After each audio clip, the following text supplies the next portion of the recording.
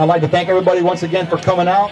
And uh, I'd like to introduce our Chief Deputy, Joe Docobo, who'll be doing the check presentation.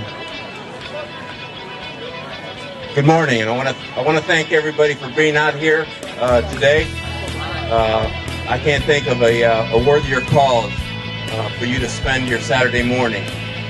Before I do the uh, check presentation, I do, however, want, want to recognize one of our heroes, Sergeant Austin Burchard, who is here today. He's one of our wounded heroes who's here and, and ran the course on behalf of Lance Corporal Schultz, who was killed on active duty. So everybody give Sergeant uh, Burchard a hand here.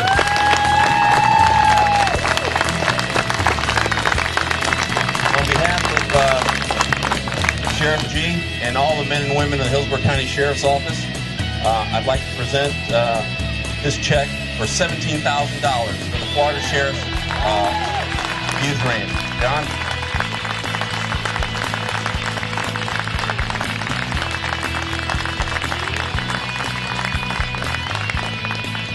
On behalf of the Florida Sheriff's Youth Ranches, I'd like to thank Sheriff Gee, Chief, all the Hillsborough County Sheriff's Office, for putting on an event like this.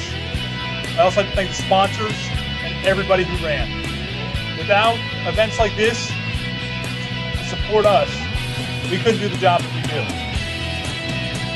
So it takes everybody to be a part of bringing up kids that need help, that need opportunities in the ranches. Without your help, without the sheriff's office help, we couldn't do that. Thank you.